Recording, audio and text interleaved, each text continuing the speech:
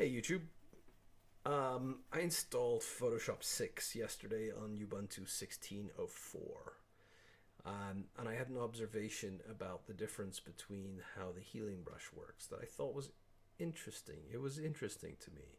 So I'm going to ramble a little bit about the difference between that. And if you want to hear my rambles and somewhat of a rant about Ubuntu 17.10 and GNOME, then stay tuned for the until the end of this because um, that was oh that was something else.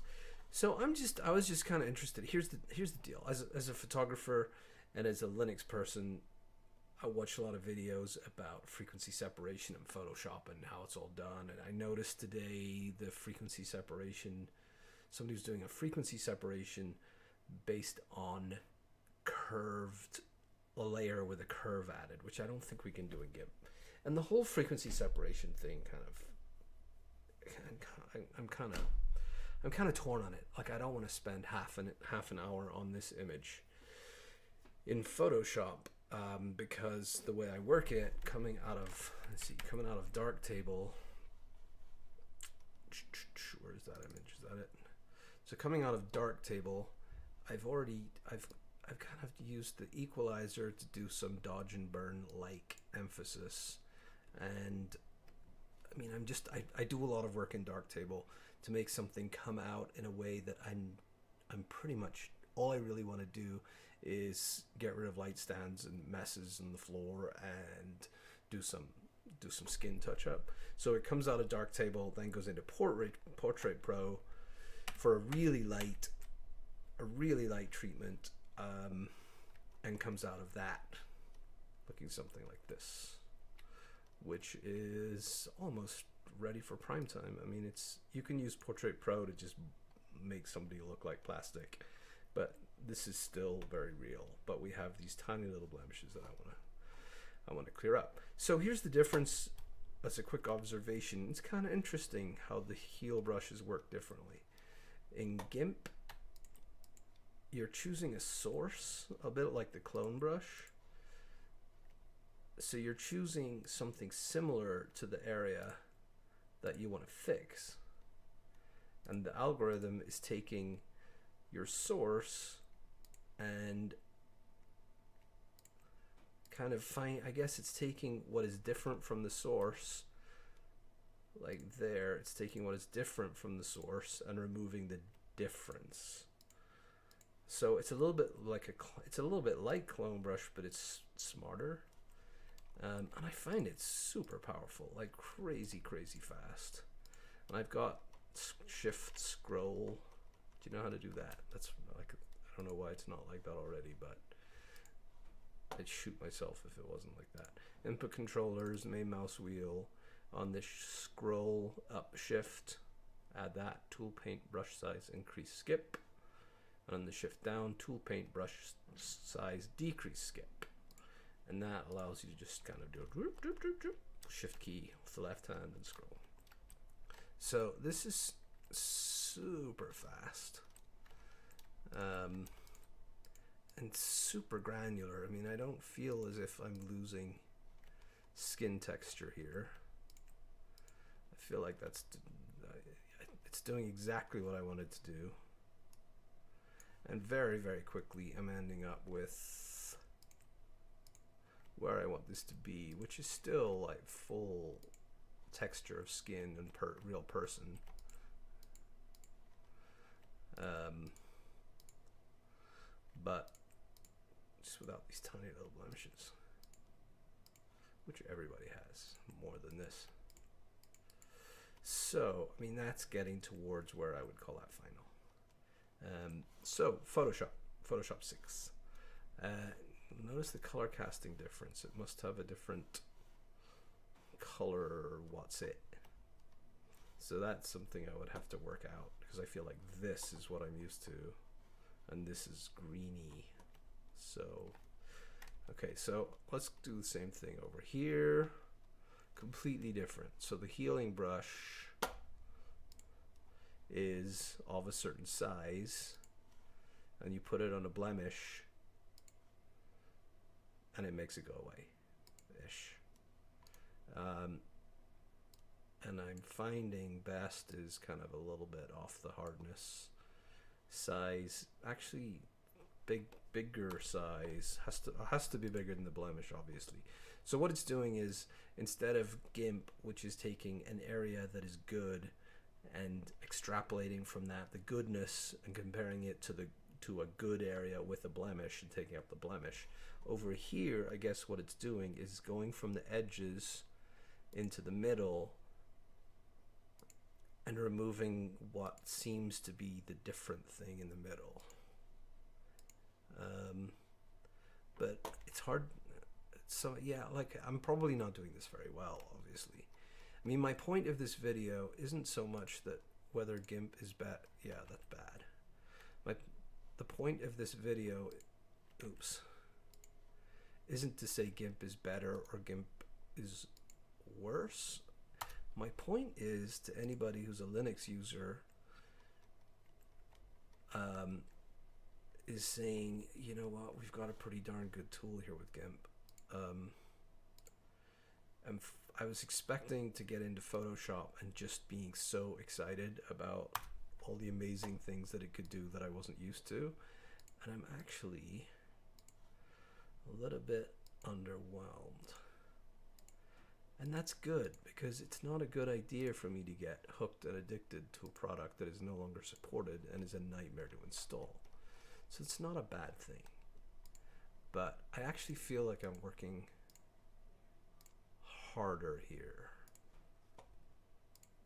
I mean, I'd end up with a, I'd end up with a great result. No, no, that looks bad. So um, I'm wondering that's what if is that why frequency separation is so common with with Photoshop users because the healing tool isn't as isn't as awesome. I don't know. I don't know. But yeah, I'm interested in your thoughts. If you use both of these tools, what are your thoughts on one, what am I doing wrong here? Because I yeah, like I feel that I've just created a white circle there. Maybe I need a softer brush edge. They're they're both fine, but I love my GIMP. I love my GIMP. Um, and in terms of processing, that's kind of where I go. Um, I'm not looking for utter, utter utter perfection. I'm looking for real. I'm looking for texture. I'm yeah. So there you go. Uh, thoughts on my inadequacies with Photoshop and how I'm doing that. Um, really interested to hear from anybody who regularly uses both and what they really, when they're in GIMP, what they really miss. Uh, and interested in anybody saying what they love about GIMP. Um, so that's the end of that conversation. I'll talk a little bit about Ubuntu 17.10. So I've been using an SSD drive for a long time as, as my OS, 128 megabyte gigabyte uh, SSD drive. It had my OS on it and my home folder on it, but pretty much nothing else. It didn't have have room for anything else. It was all symlinked up to a big old 7200 RPM drive. Um, and I suddenly realized with the price of a decent 150 bucks for a decent half terabyte SSD drive, it would be really cool to have my OS and my current working my current working files, my current my current photo files that I'm working on projects pretty much should fit together on that half terabyte drive. So I installed that um, and instead of cloning over the the partitions, I thought it's been like two or three years, two two years for sure since I did a complete reinstall. So why not? Only takes ten minutes. So I also thought, hey, why not use 1710? Um, and it drove me bonkers. Some of the things, some of the absolute deal killers for me were. Let's see. Let's look at pictures. Um, the open that open with dialogue was not there. that was replaced with open with application, which could then bring up any of those things. Which like no no no no no no come on. This is like click click click click. Oops. Open with something. Boom. I mean i need that as part of my routine. The second deal killer was um, with wayland.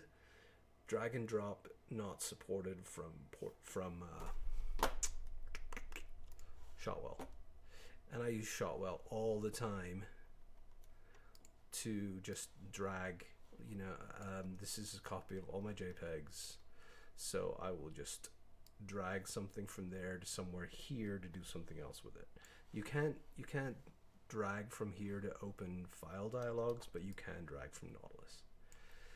Um, so that was a massive deal killer because that's in terms of posting stuff to the web and GuruShots and things that's I do that all the time.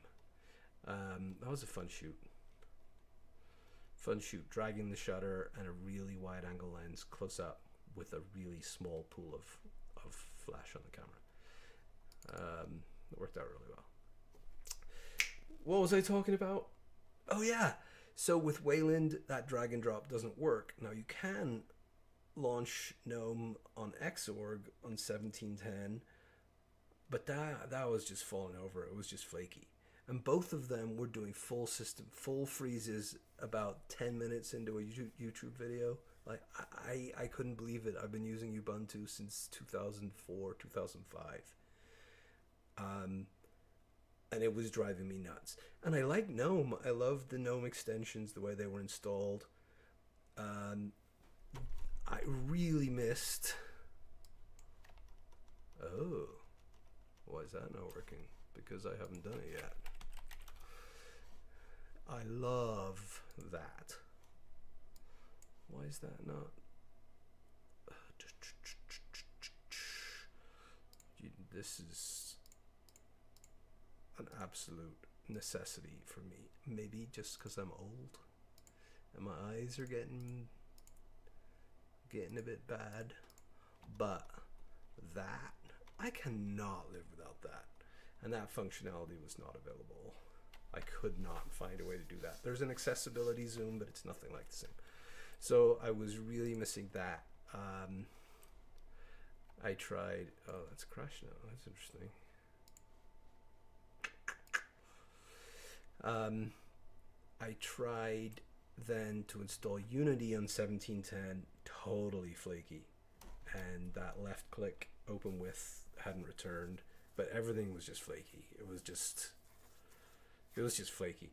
So 24 hours into fighting with 1710, trying on Wayland, GNOME on Xorg, org, um, and Unity, I just scrapped the whole damn thing and installed 1610. Um, so six, no, 16.4 long-term support. So that's supported until 2021 which is this machine will probably not make it to 2021. Um, I'm, I'm using the NVIDIA proprietary driver and it's super slick, it's super fast. Um, and yeah, I'm happy with everything about it. So that was that was a Saturday. Ra- it's not Saturday. That was a Friday ramble. Um, so I think the takeaways are huh, photo Photoshop 6 actually installs pretty easily. It's not not crazy hard.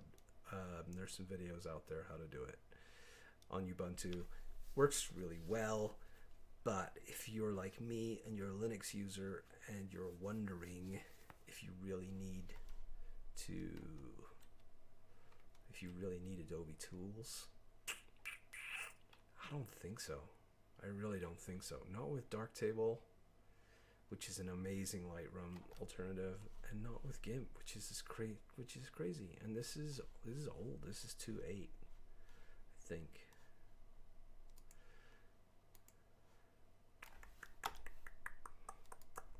Where is it? Yeah, so this is stat. This is Ubuntu repo version. Um, anyway, that was a complete and utter ramble. If you are still here, God bless you. Have a good day.